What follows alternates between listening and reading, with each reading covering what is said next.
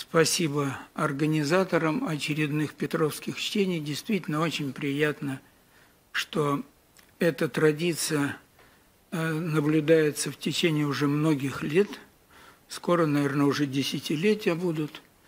Но я не помню, на моей памяти не было сообщений, посвященных основным э, неинфекционным заболеваниям и их связи Э, с онкологическими процессами. Вот на этом хотелось бы остановиться, обратить ваше внимание. Но хочу сказать, что опухоли гормонозависимых тканей, прежде всего, рак тела матки, эндометрия, молочной предстательной железы и некоторые другие, они составляют немалую долю всех новообразований и нередко обсуждаются с позиций взаимоотношений с иными основными неинфекционными заболеваниями. Внимание привлекают и факторы риска основных неинфекционных заболеваний, в том числе гормонально-метаболической природы. Нередко высказывается идея об определенном сходстве этих факторов применительно к основным неинфекционным заболеваниям как онкологического, так и неонкологического характера. И эта идея поддерживается немалым числом исследователей.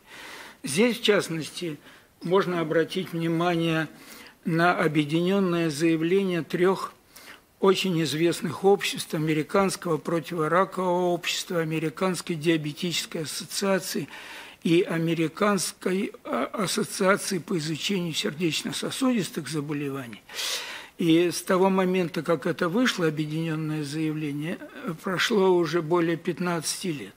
Акцент там делался на общих факторах риска для злокачественных новообразований, сердечно-сосудистых заболеваний и сахарного диабета, и на использовании достаточно близких подходов к их предупреждению.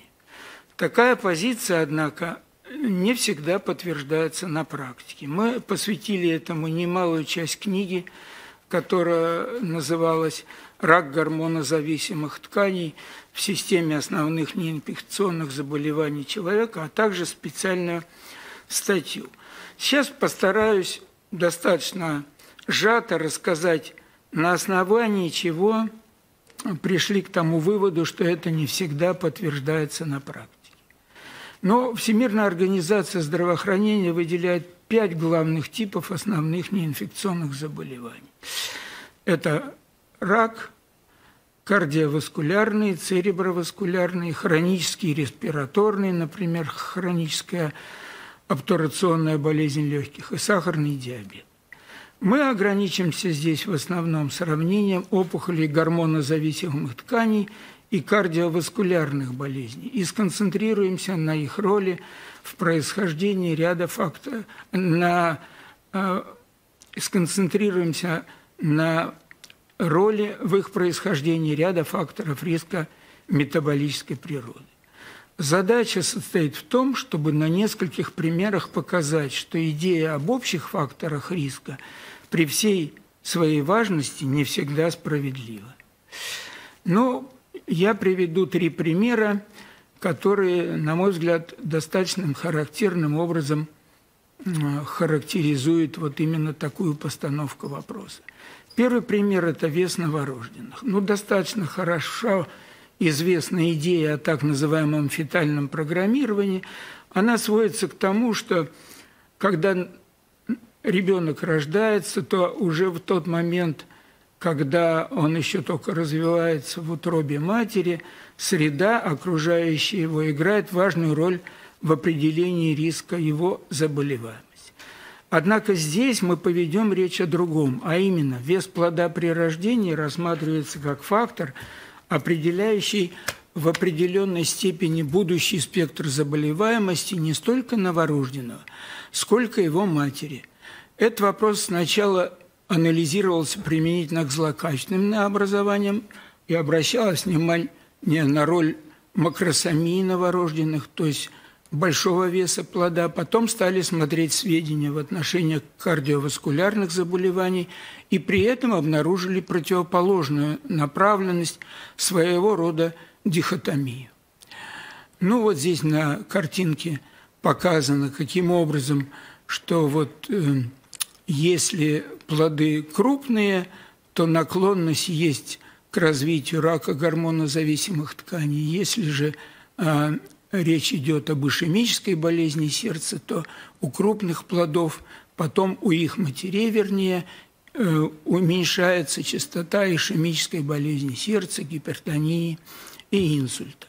Риск материнской заболеваемости по средним данным как раз вот и повышается заметно у матерей, родивших срок потомства с большой массой при рождении, в частности, более 4000 грамм. И как я сейчас сказал, напротив, риск сердечно-сосудистых заболеваний у матерей выше в том случае, если они рожали детей со сниженной массой тела. Это подтверждается и некоторыми другими э, статьями.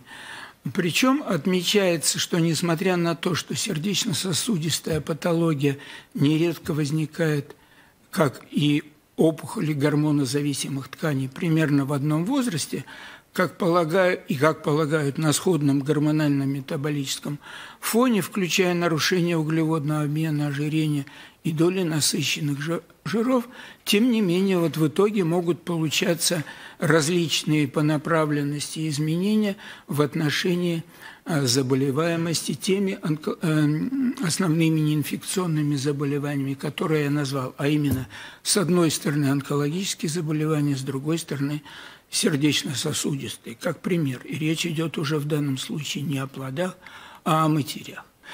Вопрос возникает, а чем, собственно, определяются различия э, в материнской заболеваемости онкологического и неонкологического профиля? Надо сказать, что сходство вот этого гормонально-метаболического фона, о котором часто говорится, в принципе, достаточно справедливо. Тем не менее, не во всех случаях соответствует предполагаемому. Так, например, признаки атеросклероза, на основе которых может развиваться кардиоваскулярная патология, далеко не всегда сопутствуют возникновению злокачественных образований гормонозависимых тканей и даже демонстрируют с ними инверсную э, связь. Это было показано 20 лет тому назад, это было показано и 5 лет тому назад, и это видно вот на этом слайде. Здесь речь идет о причинах летального исхода. В левой части слайда, если у людей был атеросклероз, выясняется, что у них частота летальных исходов, связанных с онкологическими заболеваниями, ну, составляет, как вот здесь показано, 15%. С другой стороны, если речь идет о пациентах без признаков атеросклероза, то у них частота летального исхода, связанными со злокачественными новообразованиями, составляет 25%. Причем эта достоверная разница – это выше. Значит, получается, что здесь имеется несомненная противоположность, когда мы привлекаем дополнительные факторы, но в частности, скажем, скажем сочетание с атеросклерозом. Далее э, имеется нередко в виду вероятность конкуренции или соревнования, если можно так сказать, между отдельными основными неинфекционными заболеваниями. Причем эта общая причина различий в заболеваемости матерей может реализоваться по-разному при соединении такого заболевания, а, как сахарный диабет. Это вот показано а, в той литературе, которая здесь представлена. И еще важным фактором является и экзогенный, такой как курение, потому что если мы говорим о риске сахарного диабета, который здесь играет важную роль, то если во время беременности оба родителя курили, то риск сахарного диабета существенно повышается, в то время как если оба родителя не курили, он значительно более низкий. То есть могут быть разные факторы, которые на исходные выводы могут влиять. Теперь пример номер два. Значит, первый пример у нас был связан, вы слыхали, э, с, в частности, значит, сахарным диабетом. Теперь рост тела в взрослом возрасте. То есть э, на этот фактор обычно редко обращают внимание, а между тем э, сначала это было, может быть, около 15 лет тому назад, и вот в недавно выполненном анализе основанном на большом по объему материале, было показано, что чем выше рост у взрослых мужчин и женщин, тем больше смертность от злокачественных наобразований и меньше от ишемической болезни сердца и инсульта. То есть оказывается, что вариации роста могут вот в том возрасте у взрослых мужчин, ну, скажем, 30-40 лет, вариации роста оказывают разнонаправленное влияние на связь с основными хроническими заболеваниями у взрослых людей. И это происходит на фоне того, что с 10 по 60 год, то есть за полвека, с одной стороны, произошло увеличение роста, ну, скажем, в Европе у мужчин в среднем на 5 сантиметров, а у женщин на 3 сантиметра. Это могло повлиять соответствующим образом.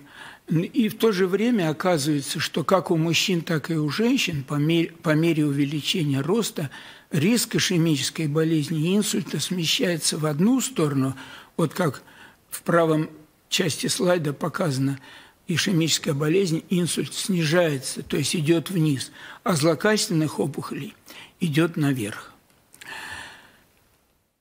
При этом люди с более высоким ростом реже демонстрируют признаки инсулинорезистентности. Это кажется странным, но так и получается. Тем не менее, и, например, Напротив, невысокий рост у 30-летних мужчин сопровождается повышением риска впервые выявленного сахарного диабета, чему способствует наличие а, случаев диабета в семье. Вот это видно, в частности, до того, как я перейду к семейному диабету, что частота диабета растет, если возраст у взрослых людей ниже, а с другой стороны, если рост выше, то как раз – частота диабета уменьшается. И вот пример семейного диабета. Обычный, если можно так выразиться, то есть практически не имеющий генетической подкладки семейный диабет, то есть фактически речь идет о случаях диабета в семье, повышает риск не только сахарного диабета, но и предиабета, гестационного диабета и ожирения. И в принципе семейный диабет – поскольку он повышает риск сахарного диабета второго типа, мог бы повышать и частоту распространения онкологических заболеваний. Но на практике, как выяснилось по некоторым наблюдениям, которые все чаще и чаще воспроизводятся, напротив, нередко наблюдается тенденция к снижению частоты онкопатологии у больных, имеющих, семя, имеющих семейную форму диабета, то есть имеющих случаи диабета у близких родственников. Тут нужно сослаться на работы профессора Хеминки, который имеет финско-шведское происхождение и много лет работает в Германии. У него э, появилась работа в 2010 году, из которой следовало, что если они оценивали большую группу больных, госпитализированных по поводу сахарного диабета второго типа, это исследование у них охватило половину всех больных сахарным диабетом в Швеции и показало у них повышение риска развития более 20 локализаций злокачественных наобразований. Чего можно было ожидать, и в этом не было, по известным данным, ничего неожиданного. В то же время при семейном диабете риск развития целого ряда злокачественных наобразований, по данным группы Химинки, был снижен. Вот на этом слайде он немножко имеет много цифр, но правую часть, если вы посмотрите, наверху написано все случаи, и справа написано семейные случаи. Вот при семейных, при случаях семейного диабета частота рака поджелудочной железы, рака предстательной железы и меланобластомы ниже, чем у тех, у которых нет случаев сахарного диабета в семье. При этом авторы, вот, э, возглавляемые профессором Химинки, не приводили каких-либо причин феномена этого и отмечали, что эти причины нуждаются в изучении. Надо сказать, что по нашим данным отмечается быстро меняющаяся частота семейного диабета. Вот за три года, с 2011 года до 2014 года, частота семейного диабета онкологических больных, у которых есть э, сахарный диабет, и у них наблюдается семейный диабет реже, а у тех, у которых э, больных без онкопатологии, семейный диабет наблюдается чаще. То есть получается, что здесь есть связь с семейным диабетом и с риском развития онкологических заболеваний и их сочетания с сахарным диабетом. При этом за прошедшее время никакой разницы по этим данным в частоте семейного диабета между больными диабетом с онкопатологией и без нее не, не отмечалось.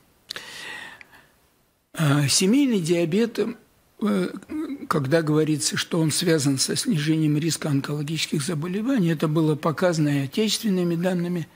Вот Евгений Наумович отошел, по-моему, доктор Кашинцев выполнял диссертацию под его руководством.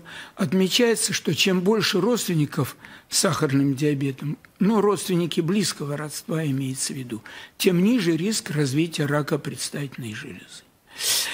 А, вот.